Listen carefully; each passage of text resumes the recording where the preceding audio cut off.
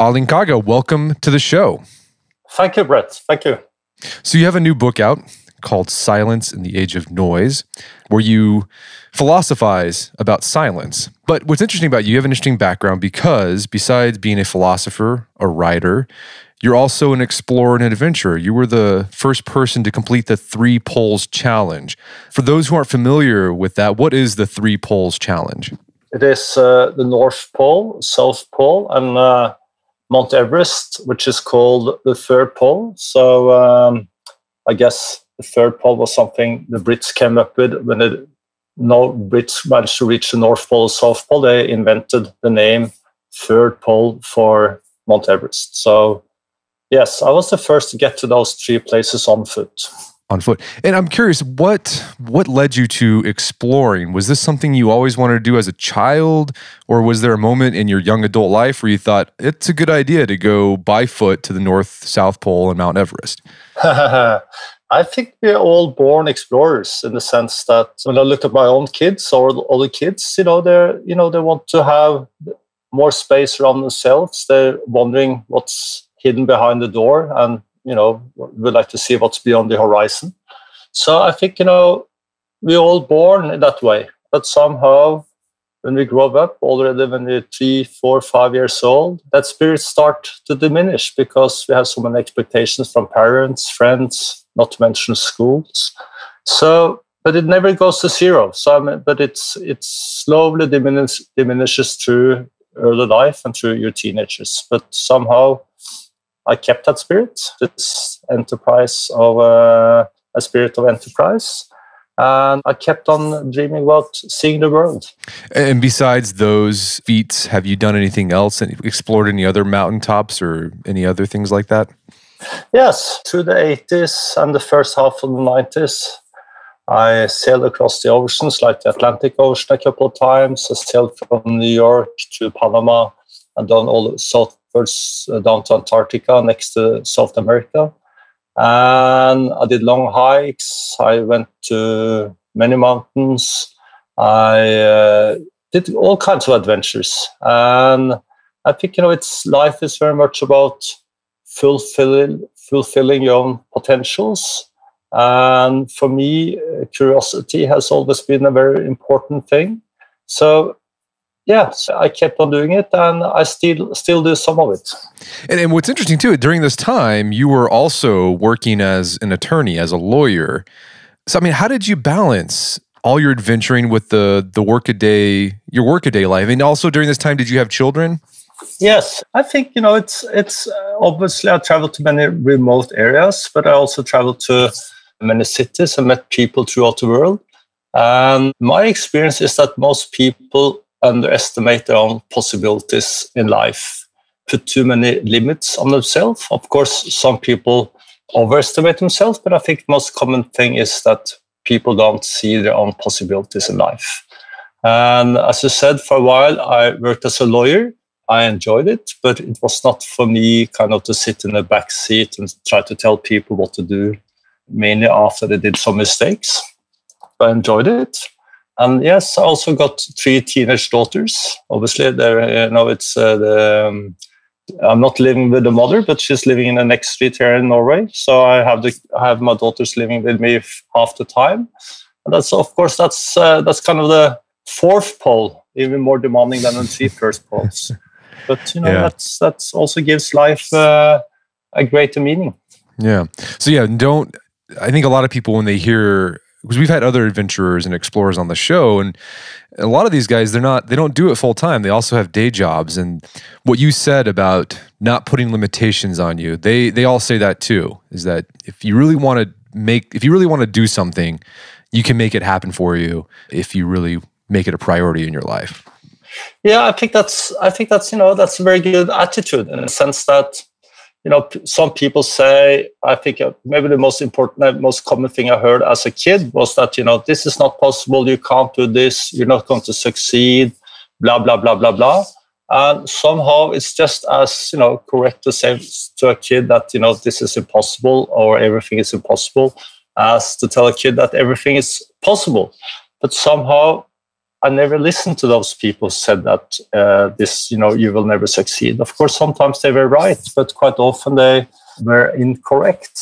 Uh, and I think that's, you know, that's that's an experience that we explorers kind of have in common. But I also think it's an experience that you know most people have in common. That if you first decide to go for something and you're also willing to suffer on the way, it's quite likely you will reach your goal. So after you completed the three poles challenge, uh, you decided to attend Cambridge University to study philosophy. Was there something about those adventures that led you to start studying philosophy, or was that something you always wanted to do? I think life very much about curiosity. I, I, I, I, try to keep up my curiosity. It's very easy to forget it in a daily grind in life because there's so many things that kind of seems more important and to explore your own mind, try to understand and getting to know yourself and also try to fulfill your own potentials. But fortunately, after being on expeditions for years, and I also became the first to walk alone to the South Pole, which was kind of a unbelievable experience for me to walk in total solitude for 50 days and nights without any radio contact under the midnight sun. And especially after that expedition, I felt more for exploring my own mind. And then I was fortunate to become a so-called visiting scholar to Cambridge and read philosophy for a year. I think it's, you know, in one way, although it doesn't have the physical dimension, I think it has, you know, still kind of this, you know, still some of the same challenges as I met as being a explorer, putting one foot in front of the other. What kind of philosophy were you focusing on while you're at Cambridge? Uh, I was focusing on moral philosophy uh, because uh, my supervisor at the time, he that was his field. But for me, it was more about testing my limits, trying to understand, try to dig into something which was I found really complicated. And uh, I'm a strong believer in uh, making life more difficult than necessary. Obviously, if, if you're born in southern Sudan, you don't need to have that attitude because life is extremely difficult. But living in Norway, which you know in the Western world, I think it's I think it's important to voluntarily make your life more difficult than it has to be. Why is that? Is it is it because we atrophy if we don't? What What do you think about that? Yeah, I think it's because uh, I think it's because the kind of the struggle to survive, to have a fairly good life, material wise, that you you know have a place to live, which is okay at least, and you also know that you're going to have sufficient of food every day. In Norway, you probably get a job. So in that sense, many of the things that used to be a struggle 100 years ago uh, in my country is now kind of something obvious. It's something that most people experience.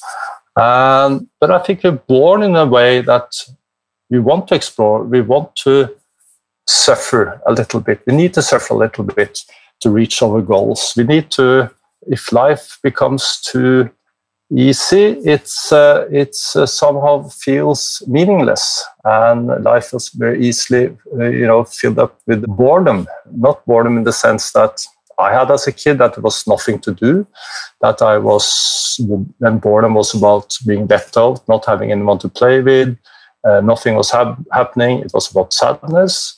But when I look around today in 2018, boredom is very much about having too much to do. It's too many TV series, games, apps, Instagram, Snap, Facebook, etc., etc., etc.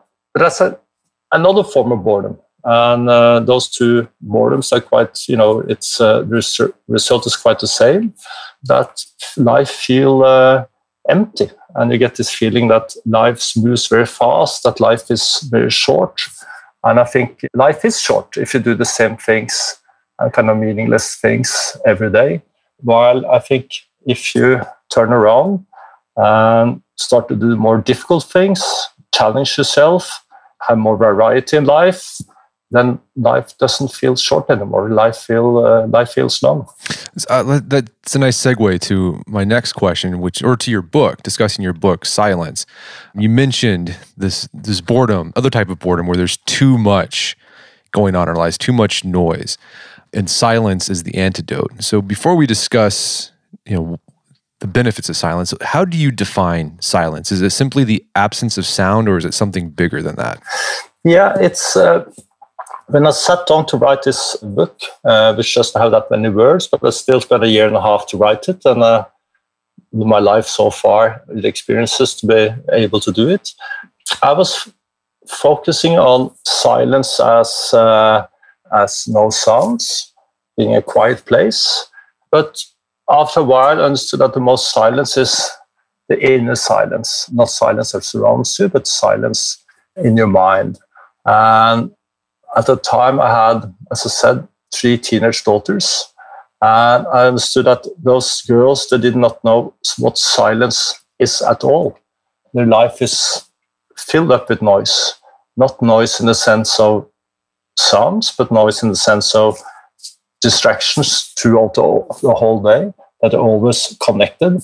They're always living through a device. They kind of always try to be someone who they are not and they have all these expectations about being part of something and living through other people.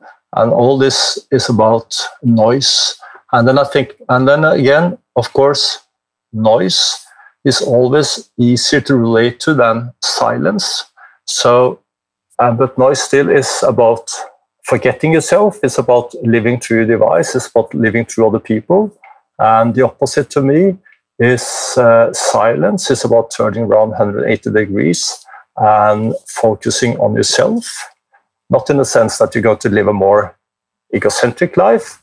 I think silence is very much about seeing yourself. It's about understanding the world. It's about respecting other people. It's about loving the earth even more.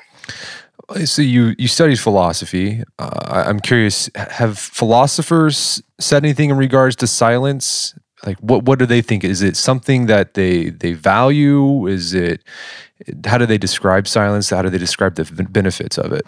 I think that's a very good question that I also asked myself when I start to write the book because I had not read uh, any philosophers writing, you know, something really interesting about silence. And I kept on asking philosophers about it because I didn't find it myself. And then I understood that somehow philosophers uh, in general, at least the ones I can buy, they have not been interested in silence. And I think that's based upon a deep or grave misunderstanding in the sense that the first year at when you read philosophy, you learn that nothing comes from nothing. And of course, that's correct. It's also easy to think about silence as nothing. And I think that's what many philosophers have been doing. But in my book, as I try to show that silence is not nothing, silence is something. So something comes from something. So I think that's, you know, maybe it's a, it's a mistake that philosophers have been doing for quite a few hundred years. But of course, in the old days, like Aristotle and Plato and others, they said that beyond the words, we can't find any more words. It's getting quiet, where it's get silence. That's then where you will experience the truth. So you experienced silence, I, am sure, in the way you're talking about when you walked by foot in the Antarctic to the South Pole. You were alone for 50 days. What was that like? I mean, what what did that experience of silence feel like? And also, I mean, what did what were what what did you perceive? I guess like I'm asking like which what was the phenomenological experience that, of of silence of being alone in the South Pole for 50 days? I think you know it's what was interesting. I think I experienced the same as most people who have done in the same place. That for the first hours or first couple of days, I found the silence disturbing, especially the first day. My uh, also maybe the second day my head was filled with noise. It was absolutely silent around me. It was white all the way to the horizon. The skies were blue, not a sound, but I still had all this noise in my head. I was thinking too much. I was not totally present. But then I slowly started to adapt to circumstances. I uh, stopped thinking. I started more to experience uh, the world as it was there and then. And then I started to feel more and more comfortable. And as the days and weeks passed by, I started to see that it's not totally white in Antarctica after all. It has this small variation, so bluish, greenish, yellowish, pinkish colors in the, in the in the snow and the ice. And it's not totally flat either. I start to see more and more details, structures in the snow and on the ice. So in that sense, the nature or the experience of the environment became richer and richer. And I also became better and better at having a dialogue with the nature, that I can sending some ideas out and getting all the thoughts back again. And of course, many of these experiences are experiences kind of hard to put words on. That's also one of my points in my book that quite often words put limits on your experiences. If you go to describe everything you go through in life in words, you put limits on yourself because I think it's many things in life which is which is beyond beyond words. So for me, the silence through those 50 days and nights became, you know, silence became somehow my best friend, and silence has its own language. So I think you know it's it's very healthy to be alone for a while and be silent for a while. Of course, some parts of life it's not possible, but other parts of life it, you don't have to walk to the south pole. Somehow you have to find your own south pole. When when you say you say you stopped thinking, do you mean like you just stopped having that internal dialogue in your head? Is, is that what yeah, you, know, it's just started. I was still thinking about life back home, worries. I was thinking about this girl I was in love with. She was not in love with me. All, you know, this kind of daily struggles that we have. But then, you know, all this worries somehow disappeared and I became press, more and more present in my life. That the past didn't matter, the future, I didn't care about the future it was only life there and then uh, that mattered to me. And i think that's you know that's uh, that's a that's a great luxury. I, am not interested in living you know having that kind of life rest of my life because i think we're all born to be social. We're born to be together with other people. But uh, for me it was a very healthy experience. And i quite often asked from people that are wondering how I think they will react to be in such circumstances. My answer is that I think you know most people would experience it more or less the same way as I did. Not exactly the same way, but you know, I think most people find it enriching to be in silence for such a long time. And I'm curious, like you, you, you came to this feeling of being present, the the past, the worries of the past, the worries of the future, no longer. Because I'm I'm sure we've all experienced that in, in, fleeting moments, and I'm sure you got a little bit longer while you're there. How long did that last when you came back to civilization? You know, you got back to daily life really quickly. You get home, takes a long time before you know quite a few weeks before you actually get home but when you get home it's daily life again. I mean, your washing machine doesn't work. You get to have it repaired. You need to pay your bills. You need to start to work. So then it goes really back to normal quickly. But, you know, we are part of all that we have met in life. So in that sense, the experience remained with me. And I still have it after all these years. And then I sat down to write a book on silence. It was my experiences from the ice, from the oceans, from the mountains, from urban life, from being a family father, for being an entrepreneur, being a lawyer for a short time. All these experiences kind of made it possible for me, for me to write about silence. If I only had been a polar explorer, I think I could still write a book about silence, but I think it would be pretty boring. Yeah, I, I thought it was interesting too how one of the um, observations you made about your experience in the Antarctic alone was similar to we wrote an article about Richard E. Byrd, who was at the South Pole for five months by himself back in the 1930s. And one of the things he commented on was that he stopped swearing. Like he didn't use curse words. And you and you had that same thing. Like you didn't have you didn't feel the urge or need to curse when you were by yourself. I didn't know that. That's interesting. Um, I haven't read so much about Byrd, but it's um, yeah, that's that's correct. It's uh, when I'm on an expedition, I never swear. I hardly I hardly utter a negative word, and it's not because it's blasphemy. That could be you know good enough reason but it's because it's so negative. When you swear, it drags you down. And especially when you're alone, then you feel it much stronger than when I'm with other people because then I can swear and life goes on and the dialogue you know, keeps going.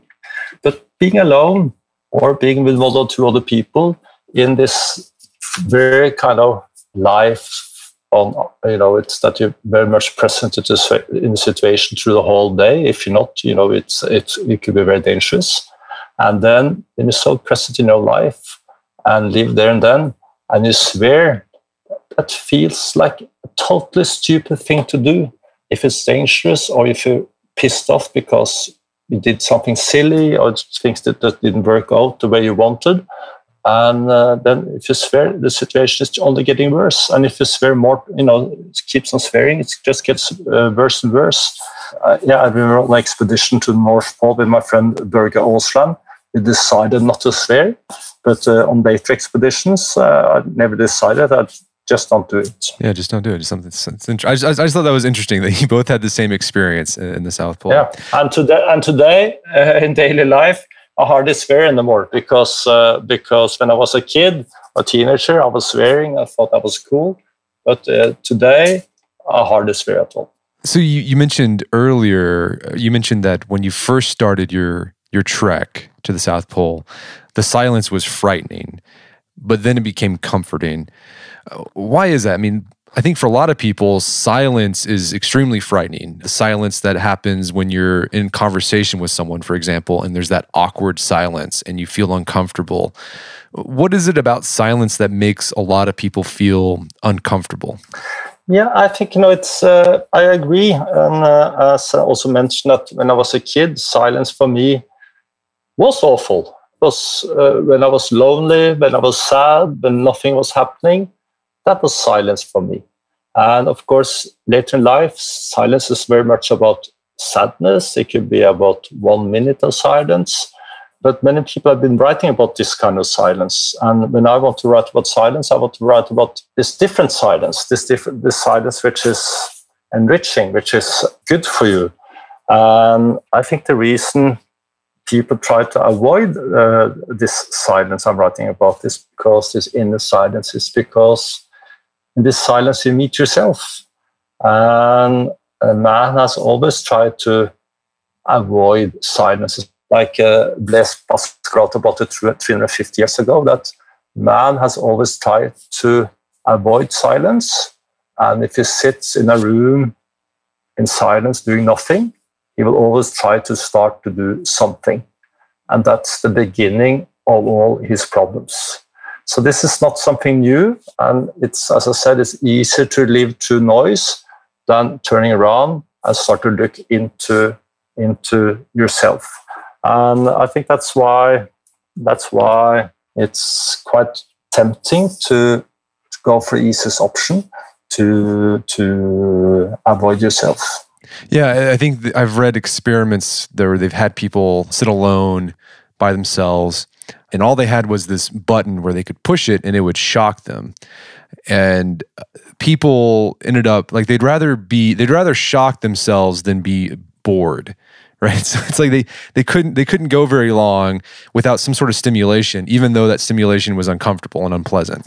Yeah and you know it's it's it sounds almost insane that people instead of sitting in total silence not having anything to do for 15 minutes rather have an electric shock than remain sitting. And I think it's actually doesn't only sound insane. I think it is insane, and I think in one way the world, whole world, has turned insane the last twenty years with internet. Not to mention the last eleven years with smartphones. That if, if my grandmother, who died more than twenty years ago, if she had seen how we're living today, if she had seen grown men walking down the streets, having a phone uh, close to the ear, kind of like looks like you know all kind of carrying around on teddy bears, kind of taking them to over you know to overhead and the concept of it. I think she would think they're turned absolutely nuts.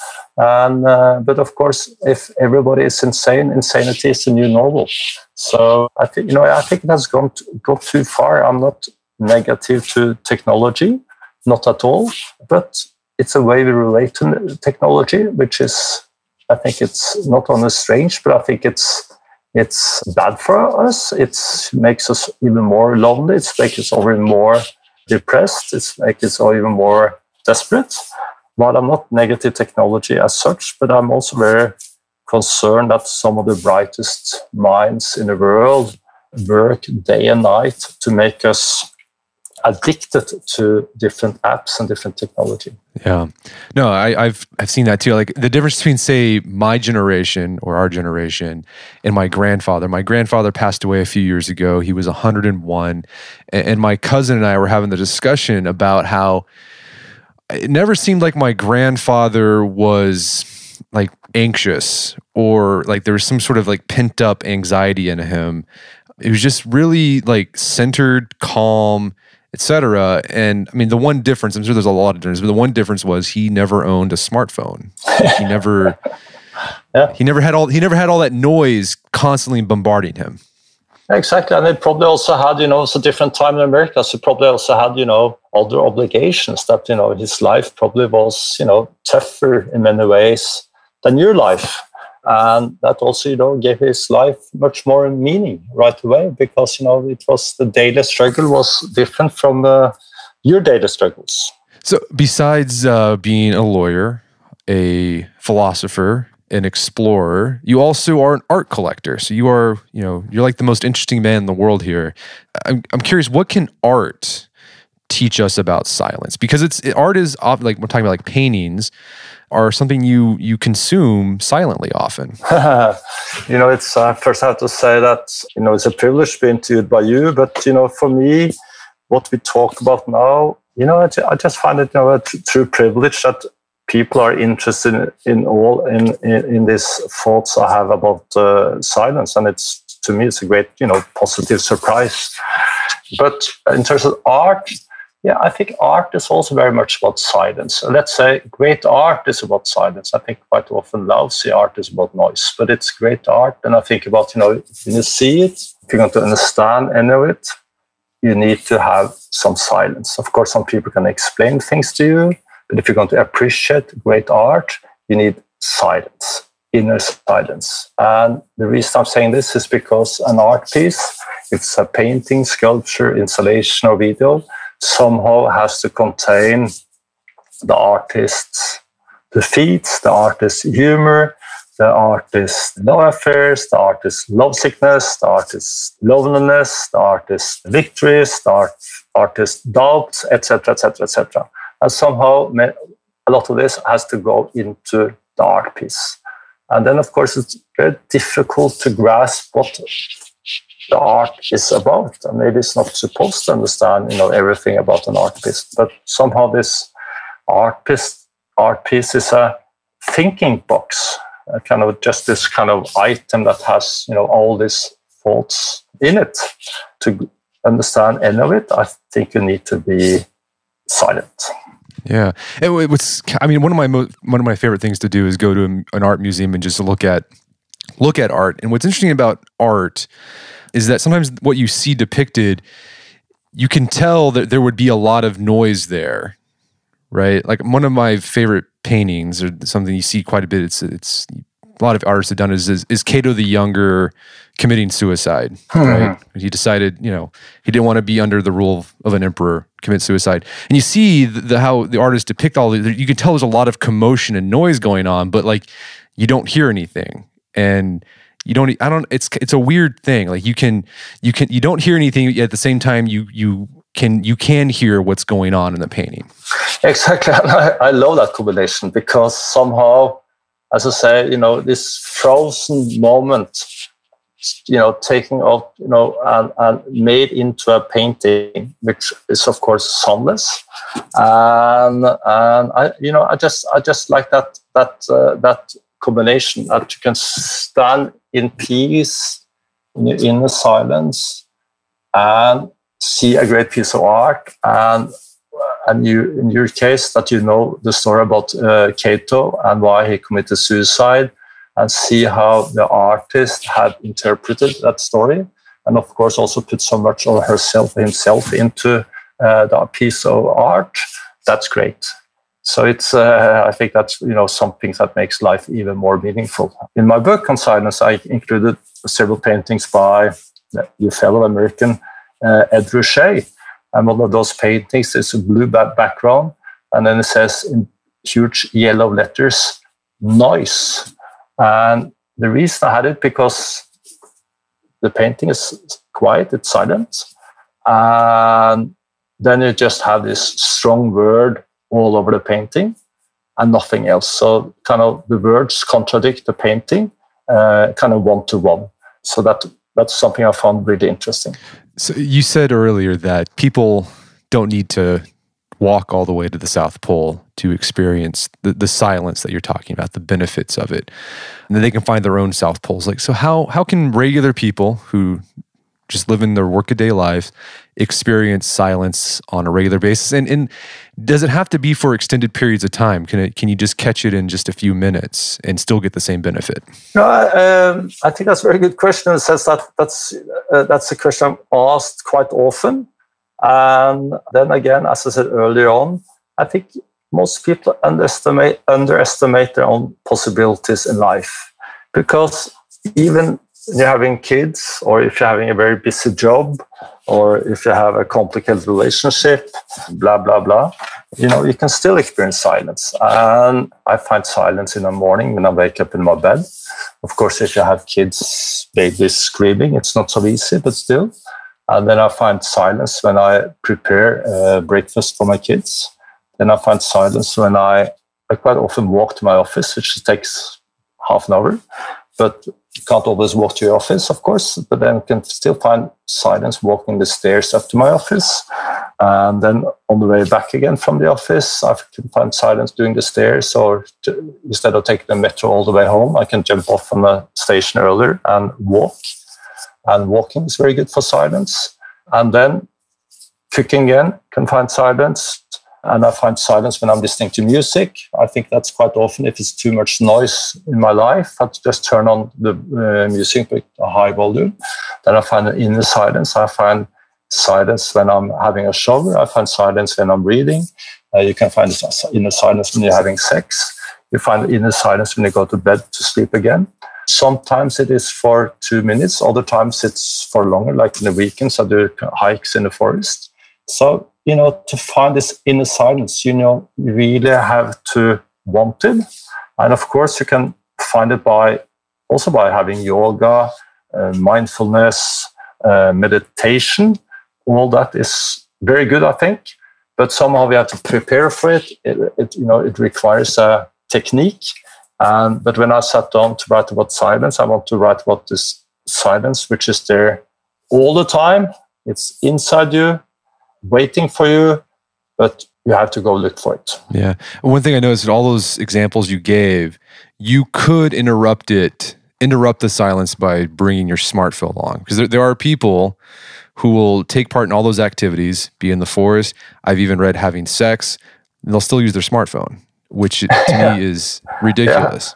Yeah, yeah it's ridiculous. It's uh, it's uh, it's. Uh, it's a, I met a guy on the street the other day, and he said to me, "I understood when I'm doing a walk, I should have nothing in my hands. That's the whole thing." Of course, if you walk with your phone in the whole uh, uh, in your hand, you know, then you're not going to have any silence. But if you turn off your phone, preferably, you know, leave it back home or turn it off and put it in the, in the backpack or in the pocket, then it's so much easier to relax. Because I think as long as the phone is on as, and it's available, you're so attracted to that phone, and it's so much complicated not to look at the phone. that you will do it. I read this article that people on average touch their phone 2,600 times a day. That sounds a lot, but I have to say, when I look at my daughters and sometimes I look around at the metro, to me, it seems like people touching their phones even more. Yeah, no, it's true. And it's like, I think it's important to keep in mind that it's a total waste. No, yeah. Touch, touch phone throughout the whole day. And it's not about not being connected to the world, but you know, you Google something, you find what you're looking for, and 20 minutes later, you're still Googling. You're checking the news, you see the news, and you keep on checking the news. And you know, the news are quite alike throughout the whole day. Actually, I think the news are more or less the same every day. Uh, so you know, it's it's about wasting this huge, fantastic opportunity you have to live a rich life. Yeah, it's it's that fear of the silence. So like if you once you feel that fear, just you gotta you gotta embrace it. It's a fear of the silence, a very f- common fear of the silence, and it's uh, you can always say that it really doesn't matter, but uh, but uh, I think it's a bit sad actually that people are living through you know that kind of you know running away from themselves and and and I've said that you know sometimes I do it do it too that you know it's I I kind of get you know so much into my phone or into a device that I check it all the time that I'm you know watching all these series uh, that I'm checking the news again and again and again and and you know just after half an hour one hour a few hours I start to feel this, you know, having this really uncomfortable feeling. But I still do it because it's it's you know you get you get you get addicted. And of course, every app is made for the user to get addicted. And you know, so then they have to give you know great promises, and then you're going to be satisfied for a short period. We can't be satisfied for long because that's of course the basic of capitalism. That you should be satisfied for a while and then you need to desire something totally new. So I'm not skeptical skeptical to capitalism and blah blah blah, but you know you just have to be aware that's that's the whole trick, and uh, we have to look through it, and we have to you know choose a slightly more narrow path. Is there some place people can go to learn more about your work and your book? You know, absolutely and I, I think you know I don't think people should listen too much to me because that's also why I want to write a little, really short book on silence. I, I asked three questions: What is silence? Where is it? And why is more important today than ever? And I try to give 33 really short answers so you can read it in one evening. And then after that, I think you know you need to find your own path, swamarga, as you know, as I said in Sanskrit. That it's not complicated at all. As I said, the silence is there, but I think it's you know to read, spend one evening to read about it, and then think through it. I think you will find your own silence, and I think you need to keep in mind that you need to create your own silence, and you need to to to to to, to keep that spirit. But that's totally up to you. Totally. Well, Erling, thanks so much for coming on. This has been a great conversation. Thank you. My guest is Erling Kagge. He is the author of the book Silence in the Age of Noise. Available on Amazon.com. Also, check out our show notes at aom.is slash silence. And if you're looking to embrace friction and discomfort, like Erling was talking about in the podcast, we developed a platform called The Strenuous Life that's designed just for that. You sign up, it's a membership platform. You get weekly challenges, there's different badges for different skills you can earn. It's all geared on making your life a little bit more uncomfortable, a little more discomfort, and getting you out of your comfort zone. So go check it out, strenuouslife.com co. Got an enrollment coming up. Get your name on the waiting list so you can be one of the first to know when it goes live. So we check it out, strenuouslife.co.